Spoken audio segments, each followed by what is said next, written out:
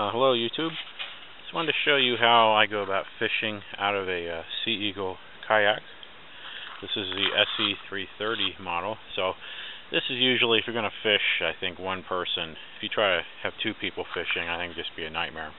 The SE370, you can comfortably fish, now semi-comfortably fish two people out of there, although it's better with one person fishing and the other person just assisting.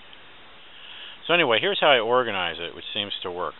I have my seat here. Highly recommend these kinds of seats. They're a lot more comfortable, give you a good back support. So I have an extra air pump in the back.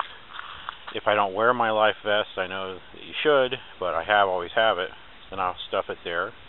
I have a little bag here where I keep my fishing gear, some basic fishing gear. You don't want to bring too much. A little bag seems to work well. And I have a water bottle here that I can reach backwards very easily and get either of those things. Uh, when you're fishing, really important, since you're in an inflatable boat, especially if you're using treble hooks, like uh, I have a Rapala on there. But, you know, even if you're not using treble hooks, you don't want a flopping fish in the boat. You don't want a flopping fish with treble hooks flopping around next to the boat. So what you have to do is if you have a larger fish on especially, thoroughly tire it out. Okay? Get its head out of the water next to the boat. Make sure it's done shaking. And then that's why I have two pliers right there. You want to have two sets of pliers handy, open, ready to use. Okay? Because you're only going to have one hand really available. Because one hand will be holding the pole as you get it close. So, as a fish gets near the boat, you're going to take your pliers, grab it by the mouth, usually the lower lip with one pair of pliers. Then you can take your fishing pole and set it down, maybe uh, pull a little line off of it, but set it down in the boat. Now you take your now you take your right hand with your left hand has the fish by the mouth with one pair of pliers. Take your right hand and now you can lift the uh, fish up with your left, take the right hand with the other set of pliers and remove the hooks one at a time.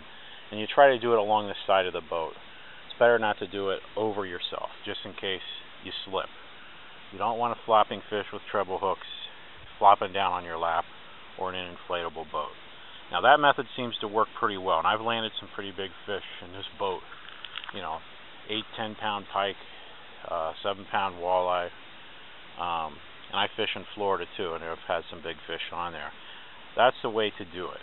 Okay, otherwise, uh, if you try to rush it, um, you're going to have problems and you know it becomes dangerous. Now if you're trolling, okay, what you do is you'll be in the boat and you're going to have the pole about right like this. It's going to be right between your legs and then you'll be paddling, your elbow will be above the pole and that's how you would troll in this boat. And that works uh, pretty well. It's a pretty comfortable way to do it. So I've had a lot of fun fishing out of the Sea Eagle kayak. It's very doable. You do have to think ahead and be prepared, okay, and expect to have a big fish on because if you're not ready, you're going to have some serious problems. But if you're ready and you're planned ahead, uh, this is a lot of fun to fish out of, very comfortable, very easy to use. If you have any questions, feel free to let me know. See you later. Oops, forgot about the stringer you got to have the stringer right here where you can reach it. So, once you got the fish off the hook and you got the lure just floating in the water, back in the water, or in a safe place, you got the fish by the mouth with the pliers. Now you can take the stringer, jam it up through, and you're going to be able to use both hands at this point with the fish. The fish should be tired, it shouldn't be flopping around, and then you can put it in the stringer. I usually tie the stringer around my leg now if you have a rope or something along the side of the uh, kayak, you can tie it to that also, but I usually just do it around my leg. So again, if you have any questions, let me know.